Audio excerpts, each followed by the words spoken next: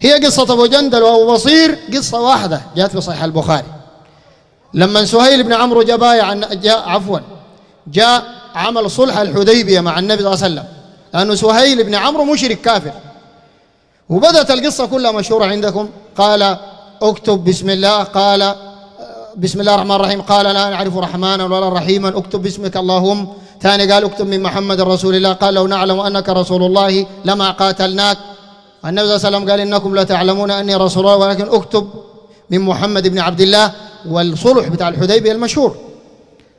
بعد ذاك كان ببنود الصلح ثلاثة بنود. من بنود الشاهد في الأمر إنه لو واحد جاء من جهة المشركين من جهة ناس قريش مسلم كافر جاء يرجعوا. النبي صلى الله عليه وسلم يرجعوا إذا جاء النبي النبي يرجعوا لأهله ويرجع لهم لو مسلم ولا كافر.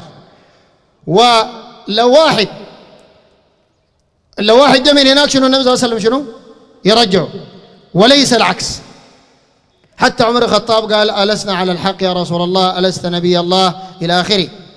فقام جاء أبو جندل ده وجاء عذبوا المشركين عذاب شديد. أثناء الصلح شغال ذاته جاء وقع طوالي في الوطاء معذب ومجرح وتعبان. فسهيل بن عمرو قال له إن أول ما تبدأ به يا محمد أن ترد إلينا هذا. ده ترجع لأنه الصلح تم صلح الحديبية. النبي صلى الله عليه وسلم رجع له. حتى أبو جندل يقول أتيتكم مسلما تردونني للمشركين إلى آخره. لكن ده وحي من الله سبحانه وتعالى وبسبب صلح الحديبية ده حصل الفتح المبين. ربنا قال إنا فتحنا لك فتحا مبينا. الفتح المبين في الآية دي ما فتح مكة. الصحيح إنه صلح شنو يا جماعة. بسبب صلح الحديبية جاء الفتح المبين. بسببه إنه الإسلام انتشر. انتشار أكثر من ذي قبل بسبب هذا الصلح. بعد ذاك أبو بصير ده قام الجماعة الماسكينه من المشركين قال للمشرك ده كده سيفك سيفك جميل وكذا مسكوا وقطعوا وشرد. ده ما كان مع النبي صلى الله عليه وسلم كان مع منه يا جماعة؟ كان برا دولة النبي صلى الله عليه وسلم. عشان ما تقول ده دليل على إنه يجوز أنت داخل دولة يحكم حاكم مسلم تقوم تاني تعمل لك جماعات شنو؟ جهادية. أبو, أبو جندل كان برا أصلا سلموه للمشركين ومشى عمل العملية دي هناك. عشان كده النبي صلى الله عليه وسلم قال ويل أمه مسعر حرب لو كان له جنود أو كان له أعوان. أو كما قال النبي صلى الله عليه وسلم. لأنه عمل شيء كان قد يحصل بسببه حرب. عملها هناك. والنبي صلى الله عليه وسلم ما قرره عملها هناك وبر دولة الإسلام عندهم هناك عند أهله. وطوالي شرد مشى. بعد ذاك لحق به أبو بصير. بقوا اثنين أبو جندل وأبو بصير. وبقى أي واحد أسلم من المشركين أسلم بقى طوالي يمشي يلحق منه يلحق أبو جندل أو بصير. يعني بقوا في ثلاثة. بقوا في النبي صلى الله عليه وسلم بدولته في المدينة. وبقوا في المشركين ديل كفار قريش. وبقوا في جماعة بتاعين أبو جندل وبصير قاعدين هناك تحت الجبل. لا تابعين لناس مكة ناس قريش. ولا تابعين لدولة النبي صلى الله عليه وسلم وإن كانوا هم مسلمين. بقوا براهم بغادي خلاص؟ يعني هم ما طلعوا من دولة النبي صلى الله عليه وسلم والدولة الإسلامية وعمل لهم جماعة. هم ما خشوا فيه أصلا. لأنه الصلح منعوا منه شنو؟ إنه يخشوا هنا دولة المدينة. فلما عملوا كده بقوا أي عير لقريش ماشي الشام أو جاي من الشام شايل بضاعة بقوا يقصوا رقاب الكفار ويشيلوا البضاعة. قام طوال كفار قريش جلوا النبي صلى الله عليه وسلم. قالوا له يا أخي الصلح ده داير ننتهي منه. براو وأنزل الله عز وجل في ذلك آيات تتلى إلى يوم القيامة. ده الموضوع. فدل ما كانوا أصلا تحت دولة النبي عليه الصلاة والسلام أساسا. لأنه ما كان يحق لهم يمشوا ذاته هناك. حسب صلحنا يا جماعة؟ الحديبية.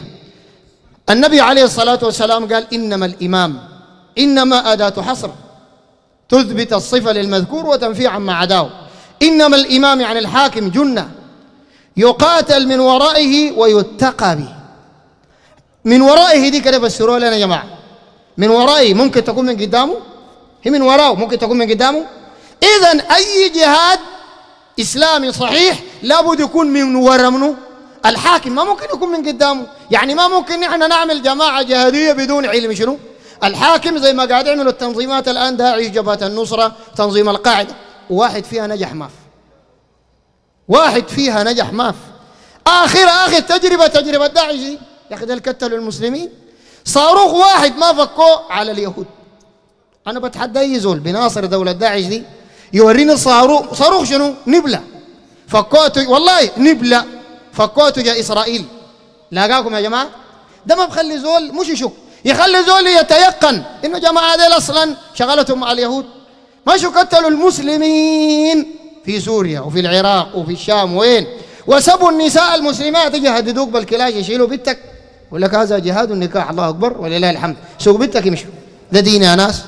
ده دين. وبنات طلع من هنا ومن هناك. واحدة تطلع عمرها 17 سنة. تمشي هناك تجي راجعة شايلة لها جنى ده جبت من وين؟ من جهاد النكاح. ده زنا يا ناس. زنا لقول النبي عليه الصلاة والسلام أيما امرأة نكحت نفسها بغير إذن وليها فنكاحها باطل فنكاحها باطل فنكاحها باطل كررها النبي صلى الله عليه وسلم ثلاث مرات. والحديث صحيح في مسند الإمام أحمد وهو في السلسلة صحيح وأيضا عند أبي داود قال النبي عليه الصلاة والسلام لا نكاح إلا بولي وشاهدي عدل. فده ما نكاح ما زواج شرعي. ده زنا. اللي بيعملونه داعش والجماعات التكفيرية الإرهابية دي. فأنا برسل رسالة لجميع الشباب. التنظيم ولأخونا ده برضه التنظيمات يا جماعة تنظيمات والله ضالة. ما عندها أي علاقة بالمنهج الصحيح الذي جاء به النبي عليه الصلاة والسلام.